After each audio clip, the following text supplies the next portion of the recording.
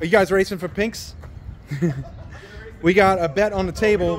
Zooz UU24 model versus Gen Zero 750.